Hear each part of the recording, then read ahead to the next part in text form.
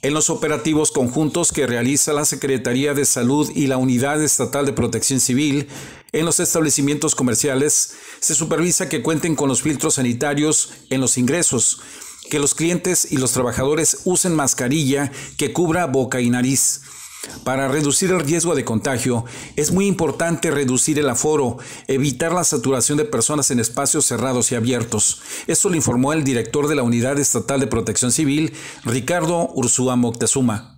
Que tanto el filtro que tienen al acceso del mismo, en el cual se, entre otras cosas, se desinfectan las manos, se desinfectan los pies, se toma la temperatura, se encuentre debidamente instalado de forma permanente, se tengan claramente identificadas las rutas tanto de ingreso de las personas como al mismo tiempo la salida, que tendrá que ser preferentemente espacios eh, divididos, que sobre todo en el interior eh, se encuentre con el distanciamiento en las áreas, eh, en diferentes procesos que se llevan a cabo en cada uno de los diferentes giros de servicios que hay en la entidad, que exista el aforo necesario. Si es importante, debemos tener presentes que definitivamente no podemos tener un aforo igual al que teníamos antes de esta pandemia, el cual va a tener que ser reducido por la distancia que se tiene que observar Luego de manifestar que diario deben limpiarse todas las superficies de los establecimientos comerciales, el funcionario dijo que además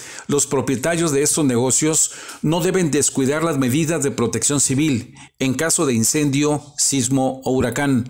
Debo añadir que no debemos de hacer de lado justamente las medidas en materias de protección civil ante una evacuación de algún incidente. Es decir, tenemos que tener rutas de evacuación que nos permitan salir de manera rápida del establecimiento.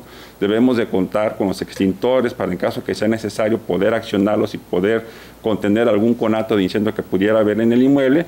Y en función del horario que tenga de operación, debemos contar también con luces de emergencia. ¿no? Esto no hay que hacerlo a un lado, mantener libres las salidas de, de emergencia es una acción fundamental que debemos llevar a cabo.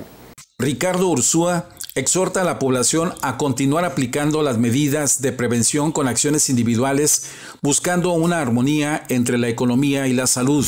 Noticias 12.1, Marcos Rivera.